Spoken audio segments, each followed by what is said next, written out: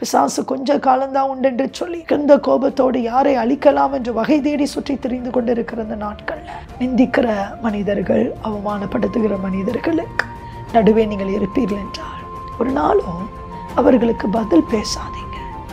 அவர்களுக்கு விரோதமாக எதிர்த்து நிற்காதீங்க. ஒருவேளை உங்களுடைய உணர்வுகள் காயப்படும்படி அவர்கள் பேசியிருப்பார்கள் என்றால் இந்த நாட்களில் தெய்வ பிள்ளைகள் ஒன்றே ஒன்றை புரிந்து கொள்ளணும். நீங்கள் பதில் பேசுகிறவர்களாக இருப்பீர்கள் என்றால் நீங்க முதிர்ச்சியற்றவர்கள்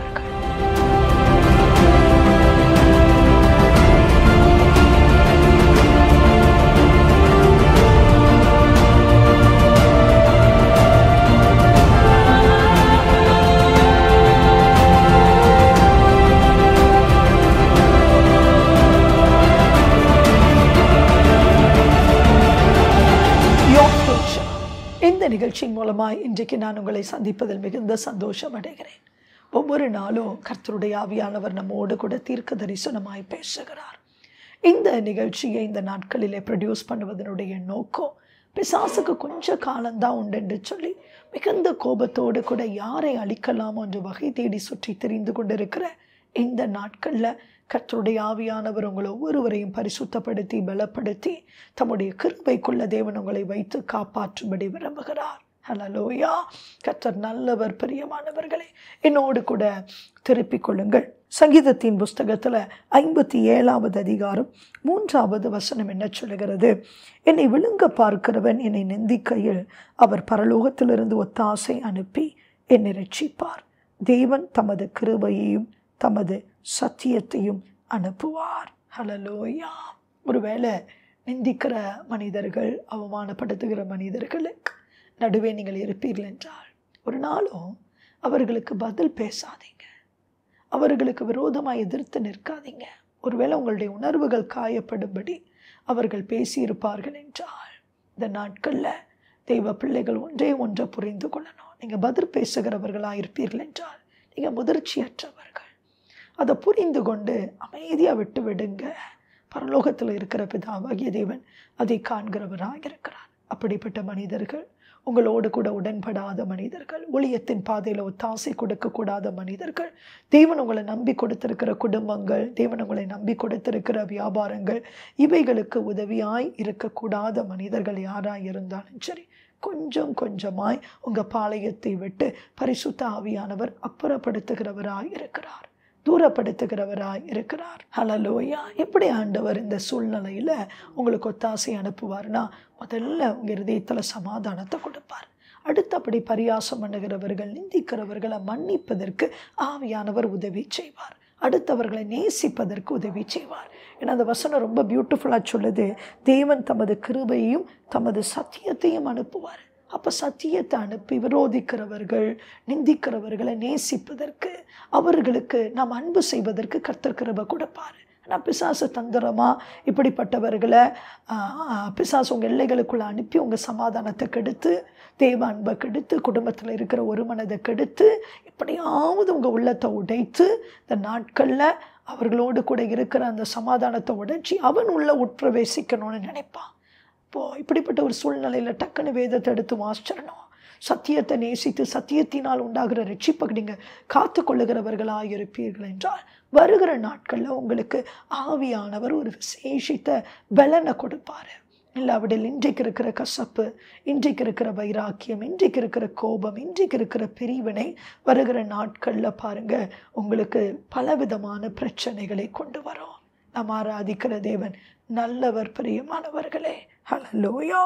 அடுத்ததாக பாருங்க தானியலின் புஸ்தகம் இரண்டாவது அதிகாரம் பதினேழாவது வசனம் மற்றும் பதினெட்டாவது வசனம் என்ன சொல்லுகிறது? பின்பு தானியல் தன் வீட்டுக்கு போய் தானும் தன் தோழரும் பாபிலோனின் மற்ற ஞானிகளோடே கூட அழியாதபடிக்கு இந்த மறைபொருள்களை குறித்து பரலோகத்தின் தேவனை நோக்கி இரக்கம் கேட்கிறதற்காக அனனியா மிஷாவேல் அசிரியா என்னும் தன்னுடைய தோழருக்கு இந்த காரியத்தை அறிவித்தான்.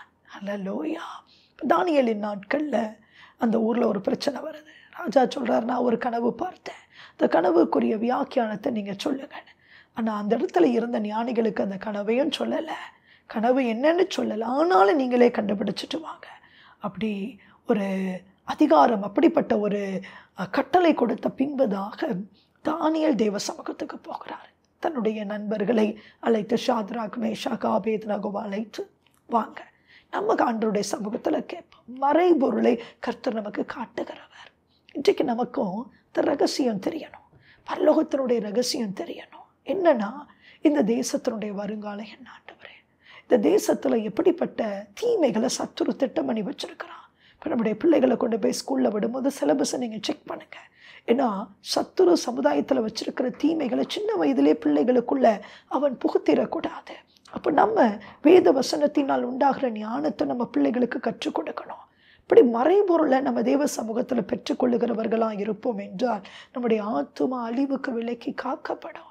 இன்றைக்கு வீடு கட்டினா போதும் இன்றைக்கு சாப்பிட்டா போதும் இன்றைக்கு பணம் வந்தால் போதும் இன்றைக்கு நல்லா இருந்தால் போதும் அப்படின்னு சொல்லி மனம் போன போக்கில் வாழுகிறவர்களாக இருப்பீர்கள் என்றால் உங்கள் வருங்காலம் ஒரு பெரிய ஆபத்துக்குள்ளே போயிடும் அப்போ டெய்லி நீங்கள் ஜெபிக்கும் போது ஆண்டவர்கிட்ட கேட்கணும் ஆண்டவரே எங்களுடைய வருங்காலத்தை எங்களுக்கு காட்டுங்க. இப்படி நம்முடைய வரும் நாட்களை குறித்து ஒரு ஆயத்தமோ ஒரு ஆசையோ சத்தியத்தினால் உண்டாகிற ஒரு ஒரு ஆயத்தம் ஒரு தெய்வ பிள்ளைக்குள்ளே இல்லைன்னா அடுத்த சந்ததியை நம்ம லூஸ் பண்ணிடுவோம் அப்கமிங் ஜெனரேஷன் பாருங்கள் பிசாசு ஈஸியாக இழுத்துட்டு போயிடுவான் இன்றைக்கி பெற்றோரோடு கூட இருக்கிற வரைக்கும் தான் பிள்ளைங்க ஒபீடியண்ட்டாக இருப்பாங்க. கொஞ்சம் நீங்கள் வெளி தேசத்துக்கு படிக்க அனுப்பி பாருங்கள் அந்த பிள்ளைகள் தேவனுடைய திட்டத்தை விட்டு ரொம்ப தூரமாக போயிடுவாங்க அப்போ இன்றைக்கு அந்த பிள்ளைகளை வளர்ப்பது வளர்ப்பதற்கு கர்த்தர்கிட்ட ஞானத்தை கேட்கணும். ஹலலோய இருளின் காரியங்களை பிள்ளைகளுக்கு நீங்கள் சொல்லி கொடுத்துடணும். தேசத்தில் இனி நடக்க போகிற காரியம் என்ன ஆண்டவரே? அதை சொல்லி கொடுத்துடணும். பிசாசனுடைய தந்திரங்களை நம்ம சொல்லி கொடுத்துடணும். இப்படி தந்திரங்களை நாம் பிள்ளைகளுக்கு சொல்லி கொடுப்போம் என்றால் வருகிற நாட்கள் அந்த தந்திரக்காரன் வரும்பொழுது அந்த பிள்ளைகள் காக்கப்படுவார்கள். அவர்கள் புரிந்து கொள்வார்கள். ஹலலூயா சத்துருவின் தந்திரத்தில் இருந்து தேவ கிருபையினால அடுத்த தலைமுறையினர் காக்கப்பட வேண்டும் என்றால் இன்றைக்கு அந்த பாரம் இன்றைக்கு அந்த வெளிச்சம் இன்றைக்கு அந்த பலன் உங்களுக்கு தேவை. தக்கருபைகள் ஆவியானவர் இன்றைக்கு உங்கள் ஒவ்வொருவருக்கும் கொடுத்து பரிசுத்த ஆவியானவர் உங்களை கரம் பிடித்து நடத்துவாராக.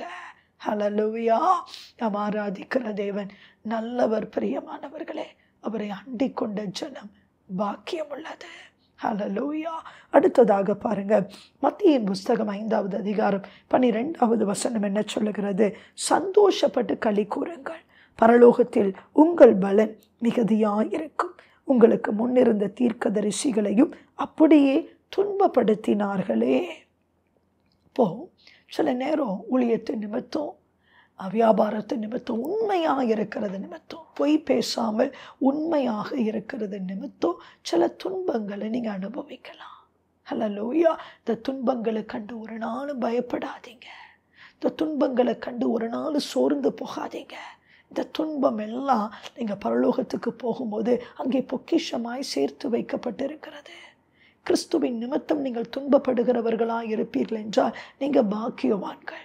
நீங்கள் பாக்கியவதிகள் பரலோக ராஜ்யம் உங்களுடையதாக இருக்கிறது. கோர்ட்டு கேஸ் என்று சொல்லி அலைந்து வழக்கு போட்டு உங்கள் நீதி அவங்களுக்கு போய் காட்டுவதற்காக நான் நல்லவன் நான் நல்லவள் என்று சொல்லி யாரையும் நம்ம புரிய வைக்கணும்னு அவசியம் இல்லை. அப்படி புரிந்து கொள்வதற்கு அவர்கள் ஆயத்தமாகவும் இல்லை. அல்லலோயா. புரிந்து கொண்டிருப்பார்கள் என்றால் இன்றைக்கு கல்லை தூக்கி எரிஞ்சிருக்க மாட்டாங்க. கற்களை தூக்கி அவர்கள் எரிகிறவர்களாக இருப்பார்கள் என்றால் ஹலலோயா இப்போ நம்ம ஆண்டவருடைய முகத்தை நம்ம நோக்கி பார்க்கும் பொழுது மறுபடியும் கல்லை தூக்கி எரியாமல் கர்த்தருடைய முகத்தை நீங்கள் நோக்கி பார்க்கிறவர்களாக இருப்பீர்கள் என்றால் பரிசுத்த ஆவியானவர் சொல்லுகிறார் பரலோகத்தில் உங்களுடைய பலன் மிகுதியாக இருக்கும். ஹலலோயா கற்களை வீசுகிறவர்கள் அறியாமல் பேசுகிறவர்கள் அறியாமல் தடை செய்கிறவர்கள் துன்பப்படுத்துகிறவர்கள் இடத்தை வாங்கி போட்டு இன்னைக்கு ஆலயத்தை கட்ட முடியல. இன்றைக்கு ஜனங்கள் எதிர்த்து நிற்கிறார்கள் அறிந்தோ அறியாமல் எதிர்த்து நிற்கிறார்கள். அவங்க ஊரில் மது கடை வருதுன்னா சந்தோஷம் ஆனால் ஒரு ஆலயம் வருதுன்னா அவர்களுக்கு துக்கமாக இருக்கிறது. ஹலோ லோயா அப்படி சத்துரு இன்றைக்கு ஜனங்களை வஞ்சித்து வைத்திருக்கிறான். அவர்கள் நிமித்தம் நமக்கு நிந்தனைகள் வரலாம் துன்பங்கள் வரலாம் அடிகள் விழலாம். ஆனால் இவைகள் எல்லாவற்றையும் கர்த்தர் கணக்கில் வச்சிருக்கிறாரு. ஹலலோயா இன்றைக்கு ஊருக்கு விரோதமாக எதிர்த்து நின்று ஒரு காரியத்தை செய்யும்படி புறப்படுவீர்கள் என்றால் வருகிற நாட்களில் சத்துருவானவன் ஈஸியாக நீங்கள் எந்த விஷயத்தை செய்யணும்னு நினைக்கிறீங்களோ அந்த விஷயத்தில் அவன் உட்பிரவேசிக்கிறவனாக இருக்கிறான். ஸோ ஒவ்வொரு நாளும் நம்ம இந்த பூமியில் வாழும் பொழுது நம்முடைய வரும் நாட்கள் அதான் நம்ம மனதில் நம்ம வைத்து அதை நம்ம கொஞ்சம் ஆழமாக பார்க்கணும். வரேன் பிசாசுக்கு கொஞ்ச காலந்தான் உண்டு என்று சொல்லி அவன் மிகுந்த கோபத்தோடு கூட எவர்களை அழிக்கலாமோ என்று வகை தேடி சுற்றி திரிந்து கொண்டிருக்கிற இந்த நாட்களில் அவன் நயவஞ்சகமாய் என்னுடைய உள்ளத்தில் வந்து என்னுடைய இல்லத்தில் வந்து கசப்பையோ கோபத்தையோ விரோதத்தையோ பிரிவினையோ அவன் கொடுத்து ஆண்டவரே எங்களை ஹலலோயா அவன் அப்பா உடைத்து போட்டு விடாதபடி. வருகிற நாட்கள் அவன் உட்பிரவேசிப்பதற்கு இந்த நாட்கள் அறிந்து அறியாமல் நம்ம ஒரு ஒரு பிளாட்ஃபார்ம் கொடுக்காமல் இருப்பதற்கு. இந்த தீர்க்க தரிசனமான வசனங்களை மறுபடியும் கொஞ்சம் சிந்தித்து பாருங்க. ஹலலோயா சிந்தித்து பாருங்கள் உங்களுடைய வாழ்க்கையினுடைய பார்வையில் ஒரு வித்தியாசம் உண்டாகும். ஹலலோயா மன்னிக்க வேண்டியவர்களை மன்னிச்சிருவீங்க. பரியாசம் பண்ணுறாங்களா நீங்கள் புரிந்து கொள்வீர்கள். துன்பப்படுத்துறவர்களா புரிந்து கொள்வீர்கள். ஹலலோ எதிர்த்து நிற்க மாட்டீங்க. கர்த்தர் பார்த்து கொள்வார் என்று சொல்லி ஒரு முதிர்ச்சி ஒரு மனதில் உங்களுக்கு ஒரு முதிர்ச்சி வரும். நீங்கள் தைரியமாய் புறப்படுவீர்கள். இந்த ஒரு கிருபைய பரிசுத்தாவியானவர் உங்களுக்கு கொடுத்து ஆண்டவர் உங்களை கரம் பிடித்து பரிசுத்தாவியானவர் உங்களை நடத்துவாராக. ஹலலோயா கர்த்தர் நல்லவர் செபிப்போமா ஏசு கிறிஸ்துவின் நாமத்தினால ஆண்டவரே மக்கு ஸ்தோத்திரம் அப்பா. மக்கு ஸ்தோத்திரம். பரிசுத்தாவியானவரே மக்கு நன்றி. அப்பா மக்கு ஸ்தோத்திரம். உடைய கிருபமுடைய தயவு ஆண்டவரே. இன்றைக்கு பிள்ளைகளை ஆண்டவரை தாங்குவதாக. ஹலல்லோயா உமக்கு ஸ்தோத்திரம் உமக்கு ஸ்தோத்திரம். ஆண்டவரே உமக்கு ஸ்தோத்திரம். அவியானவரே உமக்கு ஸ்தோத்திரம். அவியானவரே உமக்கு ஸ்தோத்திரம். அவியானவரே உமக்கு ஸ்தோத்திரம். ஆவியானவரே உமக்கு ஸ்தோத்திரம்.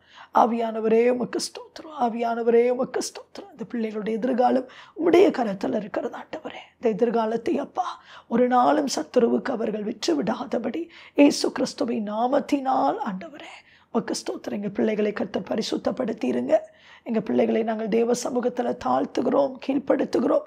கர்த்தாவே நீர் எழுந்தருளுவீராக. அப்பா சத்துருக்கள் சிதறடிக்கப்படுவார்களாக. கிருபை உண்டாவதாக மீட்பின் வெளிச்சத்தில் தேவன் தம்முடைய ஜனத்தை வைத்து நீர் மூடிக்கொள்ளும்படி நான் ஜெபிக்கிறேன் ஆண்டவரே. நீர் மூடிக்கொள்வீராக. பரியாச உதடுகளை கண்டு துன்பப்படுத்துகிறவர்களை கண்டு எங்கள் பிள்ளைகள் ஒரு நாளும் பயந்து போய் விடாதபடி ஏசுவை நாமத்தினால் ஆண்டவரே மன்னித்து மறக்க ஆவியானவர் உதவி செய்யுங்க மறைபொருளை ஆண்டவரை இவர்களுக்கு காட்டுங்க. மன்னிப்பும் ஆண்டவரே சகோதர சிநேகமும் இருக்கிற இடத்துல தான் அப்பா. பக்கு ஸ்தோத்திர ஆண்டவரே. மறைபொருள் இவர்களுக்கு ஆண்டவரே அப்பா கொடுக்கப்படும். மறைபொருளை இவர்கள் அறிந்து கொள்ளலாம். தேவனுடைய ரகசியங்களை இவர்கள் புரிந்து கொள்ளலாம். அண்ட சராசரங்களை சிருஷ்டித்த தேவனுடைய ரகசியம் ஆண்டவரே. அப்பா உம்முடைய முகத்தை நோக்கி பார்க்கிற பிள்ளைகளுக்கு நீர் கொடுக்கிறீர் உமக்கு ஸ்தோத்திரம். கிருபை நிறைந்த பொற்கரங்கள் ஆண்டவரே. அப்பா எங்கள் ஒவ்வொருவரையும் நான் தாழ்த்துகிறேன் கீழ்ப்படுத்துகிறேன். கர்த்தாவே நீர் எழுந்தருளுவீராக. உடைய சத்துருக்கள் சிதறடிக்கப்படுவார்களாக. கிருபை உண்டாவதாக மீட்பின் வெளிச்சத்தில் கர்த்தர் கர்த்தருடைய ஆவியானவர் வைத்து நீர் மூடிக்கொள்வீராக.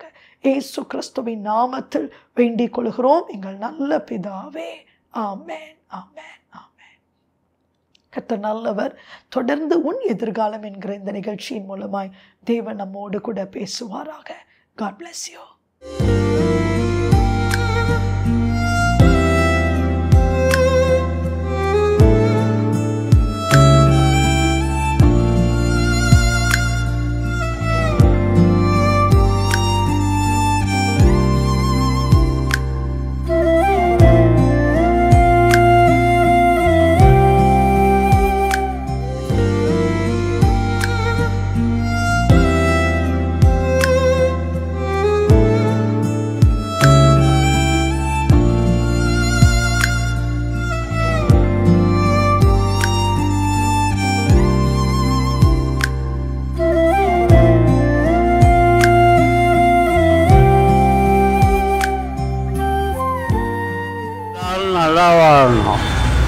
கீழே பேப்பர் அட்டை பொறுக்கி சாப்பிடுவோம் இந்த வச்சுருக்கேங்க வச்சுக்கோங்க.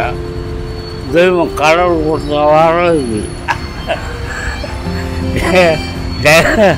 தெய்வம் கொடுத்த வாரம் இவ்வளோ சாப்பாடு இருக்குது நாங்கள் சாப்பிட்றத நான் எலிக்கு பூனைக்கு யாருக்குன்னா ககன்ட்டு கொடுத்துருவேன். அதுதான் வச்சேன். என் வயிற்றுக்கு அவ்வளோ.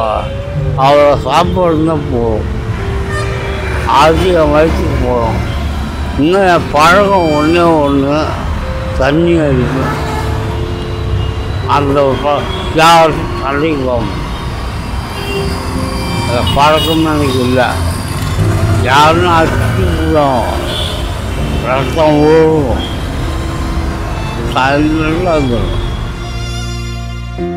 மேகமாயிரங்கும் பிரசன்னமே. மறுரூபமாக்கும் பிரசன்னமே. மேகமாயிரங்கும் பிரசன்னமே. மறுரூபமாக்கும் பிரசன்னமே. வழி நடத்தும் பிரசன்னமே. பிலகாதேவ பிரசன்னமே.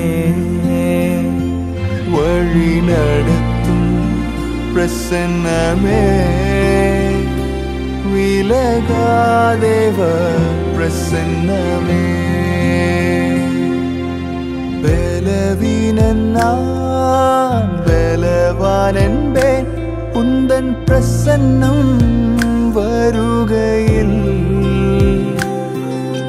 கூரை உள்ள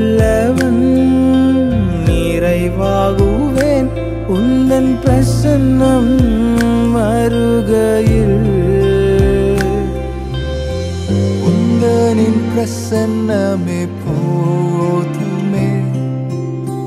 உள்ளமெல்லாம் உம்மை வாஞ்சிக்குதே. உந்தனின் பிரசன்னமே போதுமே. உள்ளமெல்லாம் உம்மை வாஞ்சிக்குதே.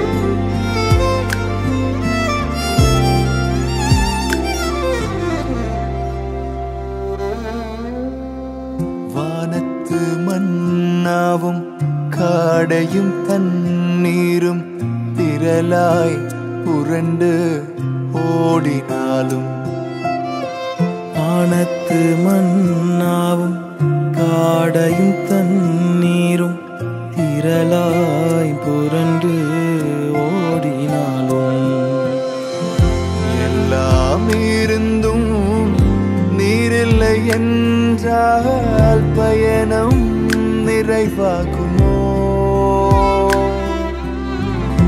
எல்லாம் இருந்தும் நீரில்லை என்றால் பயணம் நிறைவாகுமோ? நீர் வாரும் என்னுடன் வாரும் எந்த விசுவாச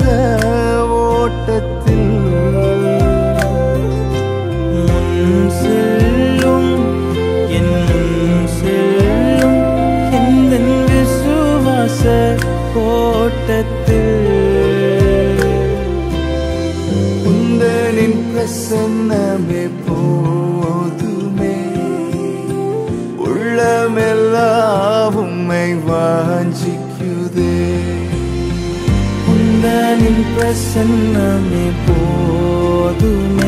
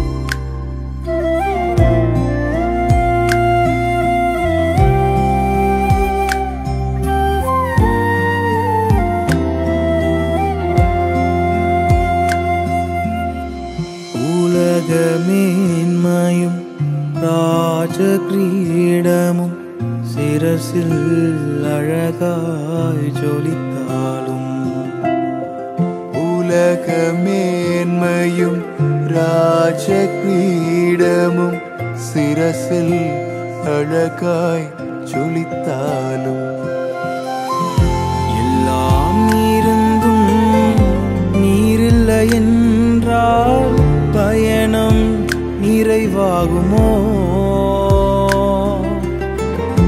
எல்லாமே இருந்தும் நீரில்லை என்றால் பயணம் நிறைவாகுமோ நீர் வாரும் என்னுடன் வாரும் எந்த விசுவாச ஓட்டத்தில்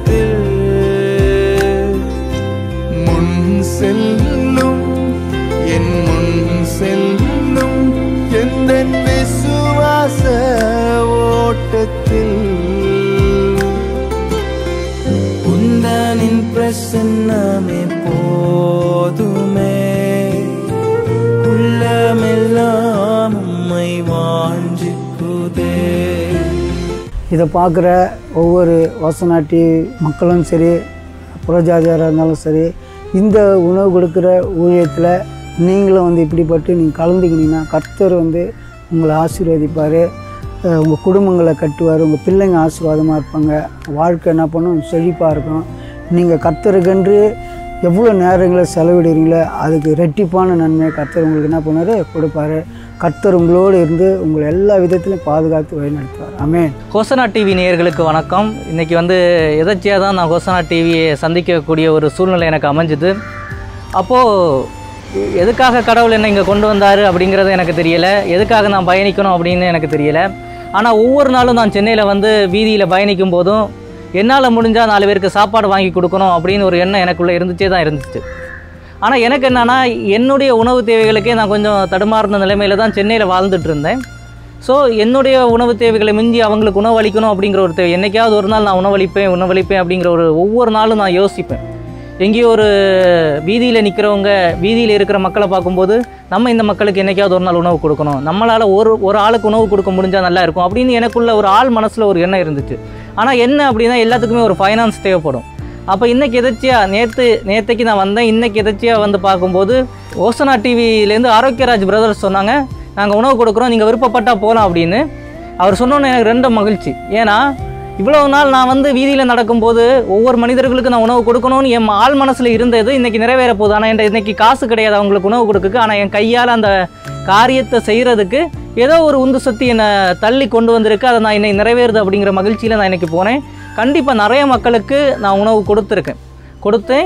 என் கையால் அதை வழங்கும் போது எனக்கு ஒரு மகிழ்ச்சி. ஆண்டவர் ஆண்டவர் வந்து இன்றைக்கி என் கையால் இந்த நிகழ்ச்சியை நடத்தணும்னு விருப்பப்பட்டிருக்கார் அப்படிங்கிற ஒரு விஷயம் இன்னொரு விஷயம் வந்து இந்த மக்களுக்கு உணவு தேவை தொடர்ந்து போய் போய் சேரணும். நிறைய மக்கள் வந்து பசியால் தான் இருக்காங்க. அதாவது நான் ஹோட்டலில் சாப்பிடலாம் அப்படின்னு நம்ம நினைப்போம். ஆனால் உண்மை என்ன அப்படின்னா ஹோட்டலில் உண்மையிலேயே காசு கொடுத்தா கிடைக்கும். ஆனால் அந்த உணவு தேவை காசு அந்த ஒரு இடத்துல படுத்திருப்பாங்க. இன்றைக்கி அந்த அந்த காசு கூட அவங்கள்ட்ட இல்லாமல் இருக்கும். நீங்கள் சென்னை வாழ் மனிதர்கள்ட்ட நிறைய பேர்கிட்ட கேட்டு பார்த்தீங்கன்னா இது தெரியும். அந்த மனிதர்களுக்கு நம்ம ஒரு நம்மளால் ஏந்த உதவிகளை பண்ணுறோம் அப்படிங்கிறது வந்து மிகப்பெரிய மகிழ்ச்சி. இது வந்து மதம் அப்படிங்கிறத அப்பாற்பட்டு ஒரு ஆளுக்கு உணவு கொடுக்கணும்னு நம்ம விருப்பப்பட்டோம் அப்படின்னா உண்மையாகவே ஒரு மனிதன் பசியால் இருக்கிற மனிதனுக்கு நம்ம உணவு கொடுக்கணும்னு விருப்பப்பட்டோம்னா கண்டிப்பாக இதுக்கு உதவலாம். விருப்பப்படுறவங்க கண்டிப்பாக உதவுங்க. இன்னொன்று வந்து அது கரெக்டான மனிதர்களுக்கு போய் சேருது அப்படிங்கிறது வந்து இன்றைக்கி நான் பயணித்ததில் ஒரு சின்ன ஒரு மகிழ்ச்சி. இந்த ஏன் கையால் அதை நான் கொடுத்ததில் இன்னும் ரெட்டிப்பு மகிழ்ச்சி அப்படின்னு தான் சொல்லுவேன் நீர் எந்த விசுவாச